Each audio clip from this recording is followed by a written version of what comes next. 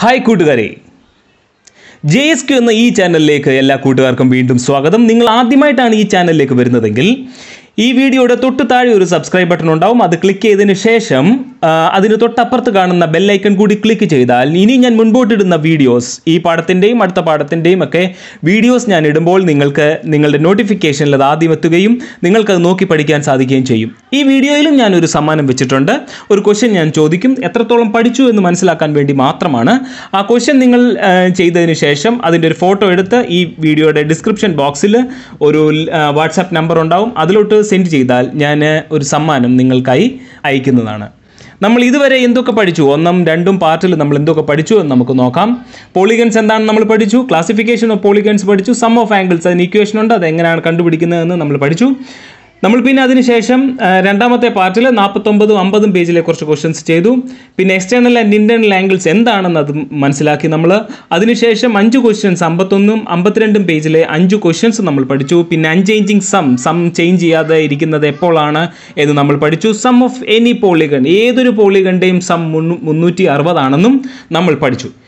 ഈ വീഡിയോ മുൻപോട്ട് പോകുന്നതിന് മുമ്പ് ഒരു സംശയം ഒരു കുട്ടി ഒന്നാമത്തെ പാഠം പാഠത്തിൽ നിന്ന് ഒരു സംശയം ചോദിച്ചിരുന്നു. ഞാൻ അത് ആ ഡൗട്ട് ക്ലിയർ ചെയ്തതിന് ശേഷം നമുക്ക് പാഠത്തിലേക്ക് പോകാം. ഇതായിരുന്നു ആ ഡൗട്ട് ഒരു ഒമ്പ ഒരു ക്വസ്റ്റ്യൻ ഞാൻ കാണിക്കാം. അതിൽ പി ബി ക്യു ഡിയുടെ സൈഡ് സീക്വൽ ആണെന്ന് മാത്രമേ ഞാൻ അതിനകത്ത് പറഞ്ഞ് വ്യക്തമായിട്ട് പറഞ്ഞുള്ളൂ. പക്ഷേ അത് പാരലൽ പാരലൽ ആവണമെങ്കിൽ അതിന്റെ ഓപ്പോസിറ്റ് സൈഡും ഓപ്പോസിറ്റ് ആംഗിളും ഈക്വൽ ആകുന്നത് എപ്പോഴാണ് എപ്പോഴാണ് എന്നാണ് കുട്ടി ചോദിച്ചിരിക്കുന്നത്. നമുക്കത് നോക്കാം. ഇതായിരുന്നു ആ question A B C D എന്ന സമാന്തര സാമാന്തരികത്തിൽ A P is equal to C Q ആണ്. അതായത് ഇത് താഴത്തെയാണ് figure P B Q D എന്ന ചതുർഭുജം സാമാന്തരികമാണെന്ന് തെളിയിക്കുക. മുപ്പതാം പേജിലെ മൂന്ന് ഒമ്പതാമത്തെ ക്വസ്റ്റ്യൻ ആണിത്. എ ബി സി ഡി എന്ന സമാന്തരികത്തിൽ A P is equal to C Q okay നമുക്കപ്പം ആദ്യം തന്നെ അവർ തന്നിട്ടുണ്ട് എ പി എന്ന് പറയുന്ന ഈ വശവും സി ക്യു എന്ന് പറയുന്ന ഈ ഈ വശവും ഈക്വൽ ആണെന്ന് തന്നിട്ടുണ്ട്. പിന്നെ അടുത്ത പറഞ്ഞിരിക്കുന്നത് എന്താ?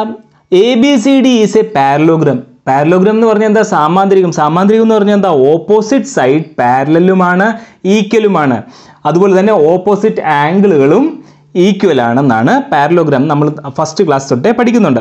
അപ്പം എന്താണ് അതിന്റെ അർത്ഥം?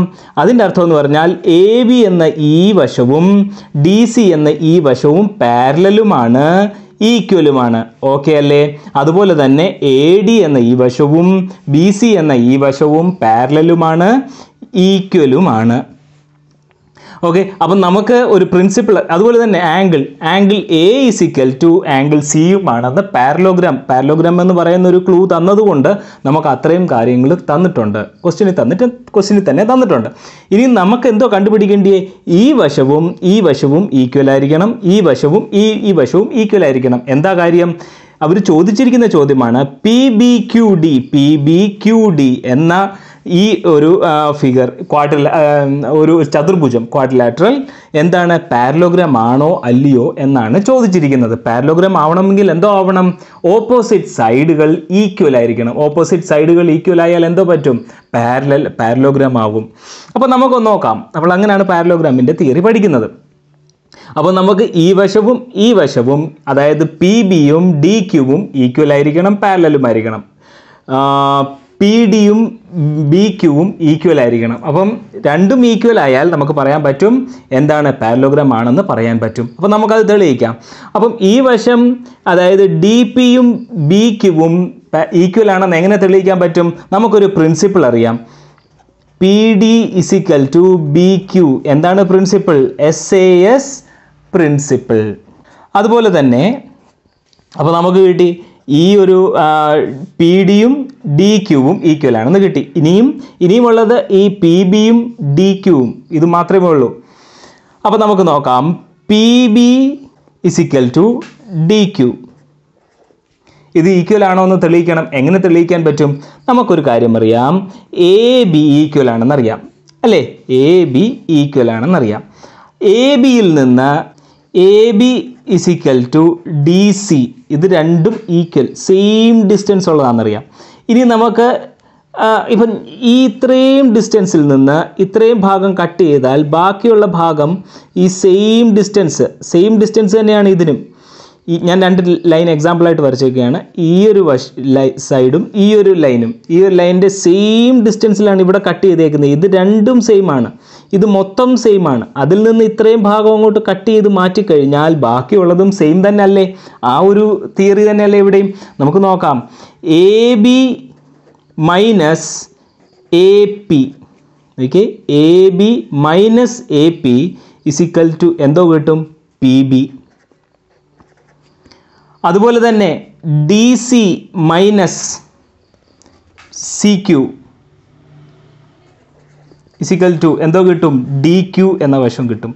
അപ്പം ഈ ഒരു വശവും ഈ ഒരു വശവും ഈക്വലാണ് നമുക്ക് ഇതിനകത്ത് കൂടെ തന്നെ പറയാൻ പറ്റത്തില്ലേ? Therefore D Q is equal to P B അപ്പം നമ്മളുടെ ഓപ്പോസിറ്റ് സൈഡുകൾ ഈക്വൽ ആണെന്ന് നമുക്ക് പറയാൻ പറ്റി. ഓപ്പോസിറ്റ് സൈഡുകൾ ഈക്വൽ ആണെങ്കിൽ അത് എന്ത് ഫിഗറാ അത് പാരലോഗ്രാം എന്ന ഫിഗറാ അപ്പം നമുക്ക് പറയാൻ പറ്റും P B Q D is a parallelogram അപ്പോൾ ആ ക്വസ്റ്റ്യൻ നല്ലതായിട്ട് മനസ്സിലായെന്ന് ഞാൻ കരുതുന്നു. നമുക്ക് തിരിച്ച് നമ്മുടെ പാഠത്തിലേക്ക് പോകാം. നമ്മൾ ഇന്ന് പഠിക്കുന്നത് എട്ടാം ക്ലാസ്സിന്റെ കണക്കിന്റെ മൂന്നാമത്തെ പാഠമായ പോളിഗൺസ് അല്ലെങ്കിൽ ബഹുഭുജങ്ങൾ. ഇത് മൂന്നാമത്തെ പാർട്ടാണ് നിങ്ങൾ രണ്ടും ഒന്നും പാർട്ടുകൾ കണ്ടിട്ടില്ല എന്നുണ്ടെങ്കിൽ ഈ വീഡിയോയുടെ തൊട്ട് താഴെ ഡിസ്ക്രിപ്ഷൻ ബോക്സ് ഉണ്ടാവും. അതിൽ നിങ്ങൾ ചെക്ക് ചെയ്താൽ അതിന്റെ ലിങ്ക് ഉണ്ടാവും. നിങ്ങളത് നോക്കി പഠിക്കാം. നമുക്ക് ആദ്യമായിട്ട് അമ്പത്തിനാലും അമ്പത്തഞ്ചും പേജിലെ കുറച്ച് ക്വസ്റ്റ്യൻസ് ചെയ്യാം. അതിൽ ആദ്യത്തെ ക്വസ്റ്റ്യൻ ഞാൻ കഴിഞ്ഞ വീഡിയോയിൽ സമ്മാനമായിട്ട് പറഞ്ഞ ക്വസ്റ്റ്യൻ ആണ്. രണ്ടാമത്തെ ക്വസ്റ്റ്യൻ തൊട്ട് ഇന്ന് നമുക്ക് ചെയ്യാം. രണ്ടാമത്തെ ക്വസ്റ്റ്യനിൽ പി ക്യു ആർ എസ് എന്ന ചതുർഭുജത്തിൽ പി ക്യു ആർ എസ് എന്നീ വശങ്ങൾ സമാന്തരമാണ്. ചതുർഭുജത്തിന്റെ എല്ലാ കോണുകളും പുറം കോണുകളും കണ്ടുപിടിക്കുക. അപ്പം ഇതിന്റെ അകത്ത് നമുക്കൊരു ക്ലൂ തന്നിട്ടുണ്ട്. പി ക്യു എന്ന് പറയുന്ന ഈ സൈഡും ആർ എസ് എന്ന് പറയുന്ന ഈ സൈഡും പാരലാണ് തന്നിട്ടുണ്ട്. നമ്മൾ കൊച്ചു ക്ലാസ്സിൽ കഴിഞ്ഞ ക്ലാസ്സിൽ ഏഴാം ക്ലാസ്സിൽ പഠിച്ചിട്ടുണ്ട്. പാരലൽ സൈഡ്സ് എന്ന് പറയുന്ന ഒരു ചാപ്റ്റർ തന്നെ പഠിച്ചിട്ടുണ്ട്. അതിന്റെ അകത്ത് നമ്മൾ കുറച്ച് കാര്യങ്ങൾ പഠിച്ചിട്ടുണ്ട്. അത് നമ്മൾ ഇതിനകത്ത് അപ്ലൈ ചെയ്യുക. നമ്മൾ ഏതെങ്കിലും ഒരു ക്ലാസ്സിൽ പഠിച്ച കാര്യങ്ങൾ അത് മുമ്പോട്ട് അതിന്റെ ബാക്കി തന്നെ ഉണ്ടാവും. മുമ്പോട്ടുള്ള ക്ലാസ്സുകളിൽ അപ്പം നിങ്ങൾ ഒരു ക്ലാസ്സിൽ പഠിച്ചു അത് മറന്നു പോകരുത്. അപ്പം നമുക്ക് നോക്കാം എങ്ങനെയാണ് ഇത് ചെയ്യുന്നതെന്ന്. നമുക്ക് ആദ്യം സിമ്പിളായിട്ടുള്ളതെല്ലാം കണ്ടുപിടിക്കാം. ഈ ഒരു പിയിൽ ഇന്നർ ആംഗിൾ കണ്ടോ? ഫിഫ്റ്റി ഡിഗ്രി അതുപോലെ തന്നെ എസ്സിലെ ഈ ഒരു ഔട്ടർ ആംഗിളും ഈ ഒരു ഇന്നർ ആംഗിളും തമ്മിലൊരു ബന്ധമുണ്ട്. എന്താണെന്നറിയാമോ? കറസ്പോണ്ടിങ് ആംഗിൾസ് ഇത് തമ്മിൽ കറസ്പോണ്ടിങ് ആംഗിൾസ് ആണ്. കാരണം എന്താ? പാരലൽ ലൈൻസിൽ ഒരു ലൈൻ കട്ട് ചെയ്യുമ്പോൾ ഉണ്ടാകുന്ന രണ്ട് ആംഗിളുകളാണ് കറസ്പോണ്ടിങ് ആംഗിൾസ് ഓർമ്മയില്ലേ? നോക്കിയേ ഇങ്ങനെ രണ്ട് പാരലൽ ലൈൻസ് അതിലൊരു ലൈൻ കട്ട് ചെയ്തു. അതിലുണ്ടാകുന്ന ആംഗിളുകൾ ഒരു ഇന്നർ ആംഗിളും ഒരു ഔട്ടർ ആംഗിളും നോക്കിയേ സെയിം തന്നെയാണ് ഇവിടെ. അപ്പം ആ രണ്ട് ആംഗിളുകൾ നമുക്ക് കിട്ടി. അതിനപ്പം നമുക്ക് ഈ ഒരു ആംഗിൾ കണ്ടെത്താൻ പറ്റും. ഇത് ലീനിയർ പെയർ ആണ്. വൺ എയ്റ്റിയിൽ നിന്ന് വൺ എയ്റ്റി ഡിഗ്രിയിൽ നിന്ന് ഫിഫ്റ്റി ഡിഗ്രി കുറച്ച് കഴിഞ്ഞാൽ എത്ര കിട്ടും? One thirty degree. ഇനി നിങ്ങൾക്ക് പെട്ടെന്ന് കണ്ടെത്താൻ പറ്റും എല്ലാ ആംഗിളുകളും ഈ ഒരു ആംഗിൾ എത്രയായിരിക്കും? ഇതും വൺ തേർട്ടി ഡിഗ്രി തന്നെയായിരിക്കും. കാരണം എന്താ? ലീനിയർ പെയർ ഈ ഒരു ആംഗിൾ കണ്ടെത്താൻ പറ്റുമോ ഇത് ലീനിയർ പെയറാണ് വൺ എയ്റ്റിയിൽ നിന്ന് വൺ ടെൻ കുറച്ച് കഴിഞ്ഞാൽ സെവന്റി ഡിഗ്രി ഇവിടെ കിട്ടും. ഇനി റിമൈനിങ് ഈ ഒരു ആംഗിളും ഈ ഒരു ആംഗിളും മാത്രമേ ഉള്ളൂ. ഈ ആംഗിൾ എങ്ങനെ കണ്ടെത്തും? ഇതും ക്വാഡ്രിലാറ്ററൽ ആണ്. ക്വാഡ്രിലാറ്ററലിന്റെ പ്രത്യേകത എന്താ? ഇന്നർ ആംഗിളിന്റെ സം എന്ന് പറയുന്നത് ത്രീ സിക്സ്റ്റി ഡിഗ്രിയാണ് നമ്മൾ പഠിച്ച കാര്യമാണ്. അപ്പം ഇത് മൂന്നും കൂടെ കൂട്ടിയിട്ട് ഈ മൂന്ന് ആംഗിളും കൂടെ കൂട്ടിയിട്ട് ത്രീ സിക്സ്റ്റിയിൽ നിന്ന് കുറച്ചാൽ മതി. ആംഗിൾ ആർ ക്യു പി എന്ന് പറയുന്നത് three sixty degree minus one thirty degree plus one hundred ten degree plus fifty degree ശരിയല്ലേ? ഈ മൂന്ന് ആംഗിളും കൂടെ കൂട്ടിയിട്ട് ത്രീ സിക്സ്റ്റിയിൽ നിന്ന് കുറച്ചാൽ മതി. ടു നയന്റി ഡിഗ്രി അപ്പോൾ ത്രീ സിക്സ്റ്റി ഡിഗ്രിയിൽ നിന്ന് ടു നയന്റി ഡിഗ്രി കുറച്ചാൽ മതി. നമുക്ക് ഏത് ആംഗിൾ കിട്ടും? ഈ ഒരു ഇന്നർ ആംഗിൾ കിട്ടും. അത് സെവന്റി ഡിഗ്രിയാണ് ഓക്കെ നമുക്ക് സെവന്റി ഡിഗ്രി കിട്ടി. അപ്പോൾ നമുക്ക് എളുപ്പമല്ലോ? എളുപ്പമായല്ലോ ഇതിന്റെ ഔട്ടർ ആംഗിൾ കണ്ടെത്താൻ. വൺ എയ്റ്റിയിൽ നിന്ന് സെവന്റി ഡിഗ്രി കുറച്ച് കഴിഞ്ഞാൽ ഇവിടെ എത്രയാണ്? വൺ ടെൻ ഡിഗ്രിയാണ് ഓക്കെ അപ്പം നമ്മളെല്ലാം ഇത് first first question second question ചെയ്തിരിക്കുന്നു. നമുക്ക് തേർഡ് ക്വസ്റ്റ്യനിലേക്ക് പോകാം. മൂന്നാമത്തെ ക്വസ്റ്റ്യൻ ഒരു ചതുർഭുജം വരച്ച് ഏതെങ്കിലും രണ്ട് മൂലകളിലെ പുറംകോണുകൾ അടയാളപ്പെടുത്തുക. ഇവയുടെ തുകയും മറ്റ് രണ്ട് മൂലകളിലെ അകക്കോണുകളുടെ തുകയും തമ്മിൽ എന്തെങ്കിലും ബന്ധമുണ്ടോ? മൂന്നാമത്തെ ക്വസ്റ്റ്യൻ ഈ ഇതുപോലൊരു ഏതെങ്കിലും ഒരു തരത്തിൽ ഒരു ചതുർഭുജം വരച്ച് ഒരു ക്വാഡ്രിലാറ്ററൽ വരച്ച് അതിന്റെ രണ്ട് മൂലകളിൽ അപ്പം ഞാനിപ്പോൾ തൽക്കാലം എയും ബിയിലെയും രണ്ട് മൂലകളിലെ പുറം കോണുകൾ അടയാളപ്പെടുത്തുക. ഓക്കെ പുറം കോണുകൾ അടയാളപ്പെടുത്തി. അപ്പം ഞാൻ ഇതിന് ഫോർ എക്സാമ്പിൾ നിങ്ങൾക്ക് ഏത് വേണമെങ്കിലും എടുക്കാം. ഞാൻ ഇതിന് ഈ ഒരു ആംഗിളിന് സെവന്റി ഡിഗ്രിയും ഈ ഒരു ആംഗിളിന് എയ്റ്റി ഡിഗ്രിയും ആണെന്ന് ജസ്റ്റ് സങ്കല്പിക്കുക. ബാക്കി നിങ്ങൾ ഇത് വേണമെങ്കിലും ഈ ആംഗിൾ വേണമെങ്കിലും എടുക്കാം ഈ ആംഗിൾ വേണമെങ്കിലും എടുക്കാം. ഏത് പുറം കോണുകൾ വേണമെങ്കിലും എടുക്കാം. ഞാൻ തൽക്കാലം ഈ ഒരു രണ്ട് പുറം കോണുകൾ എടുത്തു. ഇത് രണ്ടും കൂടെ എന്തോ ചെയ്യണം? ഇവയുടെ തുക ഇവയുടെ തുക എന്ന് പറയുന്നത് seventy degree plus eighty degree. One fifty degree. Okay ഇവയുടെ തുകയും മറ്റ് രണ്ട് മൂലകളിലെ അകക്കോണുകളുടെ തുകയും തമ്മിൽ എന്തെങ്കിലും ബന്ധമുണ്ടോ? അപ്പം മറ്റ് രണ്ട് മൂലകൾ എന്ന് പറഞ്ഞാൽ ഇത് രണ്ട് മൂലകളാണ്. ഇതിന്റെ അകക്കോണുകൾ ഇന്റീരിയർ ആംഗിൾസ് തമ്മിൽ കൂട്ടുമ്പോൾ ഈ ആംഗിൾ ഡിയും ഈ ആംഗിൾ സിയും തമ്മിൽ കൂട്ടുമ്പോൾ ഈ ആംഗിളുമായിട്ട് ഈ എക്സ്റ്റീരിയർ ആംഗിളുമായിട്ട് ഒരു ബന്ധമുണ്ട് ഒരു റിലേഷനുണ്ട് എന്താണ് ആ റിലേഷൻ എന്ന് നമുക്ക് നോക്കാം. അപ്പം നമുക്ക് ആദ്യം ചെയ്യേണ്ടത് ഇതിന്റെ ഇന്റീരിയർ ആംഗിൾസ് കണ്ടെത്തണം. ഇന്റീരിയർ ആംഗിൾസ് എങ്ങനെ കണ്ടെത്തും? വൺ എയ്റ്റി ഡിഗ്രിയിൽ നിന്ന് സെവന്റി ഡിഗ്രി കുറച്ച് കഴിഞ്ഞാൽ നമുക്ക് ഇവിടുത്തെ ഇന്റീരിയർ ആംഗിൾ കിട്ടും. കാരണം എന്താ? ഇത് ലീനിയർ പെയറാ ഓക്കെ ഇത് വൺ ഹൺഡ്രഡ് ടെൻ ഡിഗ്രി കിട്ടും. ഇത് ഹൺഡ്രഡ് ഡിഗ്രിയും കിട്ടും. അപ്പം നമുക്ക് ഇതിന്റെ സം കണ്ടെത്തിയാൽ മതി. ഇത് ഓരോന്ന് വെച്ച് കണ്ടെത്തണ്ട. ഇതിന്റെ സം ഡിയുടെ ഇന്റീരിയർ ആംഗിളിന്റെ സം ഡിയും സിന്റെ ഇന്റീരിയർ ആംഗിൾസിന്റെ സം കിട്ടിയാൽ മതി. അപ്പം നാല് ആംഗിളും കൂടെ കൂട്ടിയാൽ ത്രീ സിക്സ്റ്റി ഡിഗ്രി കിട്ടുമെന്ന് നമുക്കറിയാം. ഇന്റീരിയർ ആംഗിളും കൂടെ കൂട്ടിയാൽ ത്രീ കാരണം എന്താ? നമ്മൾ പഠിച്ചിട്ടുണ്ട് ക്വാഡ്രിലാറ്ററലിന്റെ ഇന്റീരിയർ ആംഗിൾ അതിനൊരു ഇക്വേഷൻ നമ്മൾ പഠിച്ചു. നമുക്കിപ്പോൾ അതിന്റെ ആവശ്യമില്ല. നമുക്ക് ത്രീ സിക്സ്റ്റി ഡിഗ്രിയാണ് നമുക്കറിയാം. അപ്പോൾ ത്രീ സിക്സ്റ്റി ഡിഗ്രിയിൽ നിന്ന് ഈ രണ്ട് ആംഗിളും കൂടെ കൂട്ടിയിട്ട് കുറച്ചാൽ ത്രീ സിക്സ്റ്റി ഡിഗ്രിയിൽ നിന്ന് ഈ രണ്ട് ആംഗിളും കൂടെ കൂട്ടിയിട്ട് കുറച്ചാൽ നമുക്ക് ഈ രണ്ട് ആംഗിളുടെയും സം കിട്ടും. അല്ലേ? നമുക്കിത് വെവ്വേറെ ആയിട്ട് വേണ്ട. അപ്പം നമുക്കത് ചെയ്ത് നോക്കാം. One hundred ten degree plus hundred degree. അപ്പം നമുക്ക് എന്തോ കിട്ടും അതിന്റെ answer three sixty degree minus one hundred ten plus hundred degree two hundred ten degree. അപ്പം ത്രീ സിക്സ്റ്റി ഡിഗ്രിയിൽ നിന്ന് ടു ഹൺഡ്രഡ് ടെൻ ഡിഗ്രി കുറച്ച് കഴിഞ്ഞാൽ എത്ര ഡിഗ്രി കിട്ടും? വൺ ഹൺഡ്രഡ് ഫിഫ്റ്റി ഡിഗ്രി കിട്ടും. അല്ലേ? അപ്പം നമുക്ക് മനസ്സിലാവുന്ന കാര്യമെന്ന് പറഞ്ഞു കഴിഞ്ഞാൽ ഈ ഇന്റീരിയർ അതായത് എതിർമൂലയുടെ ഇന്റീരിയർ ആംഗിൾസ് ആന്തരകോണുകൾ അക അല്ലെങ്കിൽ അകക്കോണുകളുടെ തുകയും നമ്മൾ കണ്ടുപിടിച്ച ഇതിപ്പം ഈ ഒരു ആയിരുന്നു നമുക്ക് ഇതും ഇതുമാണെങ്കിലും നോക്കാം. ഇതും ഇതുമാണെങ്കിലും ഞാൻ ജസ്റ്റ് മനസ്സിലാവാൻ വേണ്ടിയാണ് ഇങ്ങനെ ചെയ്തത്. അപ്പോൾ നമുക്കത് മനസ്സിലാവും. രണ്ടും ഈക്വൽ ആണെന്ന് മനസ്സിലാകും. നാലാമത്തെ ക്വസ്റ്റ്യൻ കോണുകളെല്ലാം തുല്യമായ ഒരു ബഹുഭുജത്തിന്റെ ഒരു ബാഹ്യകോൺ. ബഹുഭുജത്തിന്റെ ഒരു അകക്കോണിന്റെ രണ്ട് മടങ്ങാണ്. അതിന്റെ സബ് ക്വസ്റ്റ്യൻ അതിലെ ഓരോ കോണും എത്ര ഡിഗ്രിയാണ്? രണ്ടാമത്തെ സബ് ക്വസ്റ്റ്യൻ അതിന് എത്ര വശങ്ങളുണ്ട്? നാലാമത്തെ ക്വസ്റ്റ്യൻ വളരെ സിമ്പിൾ ആയിട്ടുള്ള ഒരു ക്വസ്റ്റ്യൻ ആണ് ഇതിനകത്ത് നമുക്ക് നമ്മുടെ ഇക്വേഷൻസ് എന്ന പാഠത്തിലേക്ക് നമ്മളൊന്ന് തിരിച്ചു പോകും. അപ്പം നിങ്ങൾ ഞാൻ പറഞ്ഞതുപോലെ ഒരു പാഠം പഠിച്ചു അത് പരീക്ഷയ്ക്ക് വേണ്ടി മാത്രം പഠിക്കരുത് മുമ്പോട്ടുള്ള ക്ലാസ്സുകളിലും നിങ്ങൾക്ക് അത് പ്രയോജനപ്പെടും. അപ്പം നമുക്ക് ഇതിനകത്ത് പറഞ്ഞിരിക്കുന്നത് ഒരു ബാഹ്യകോൺ ഓക്കെ ബഹുഭുജത്തിന്റെ ഒരു അകക്കോണിന്റെ രണ്ട് മടങ്ങാണ്. അപ്പം ഇന്നർ ആംഗിളിനെ അതായത് അകക്കോണിനെ നമ്മൾ എക്സ് ആയിട്ട് എടുത്താൽ ഔട്ടർ ആംഗിൾ എത്രയായിരിക്കും?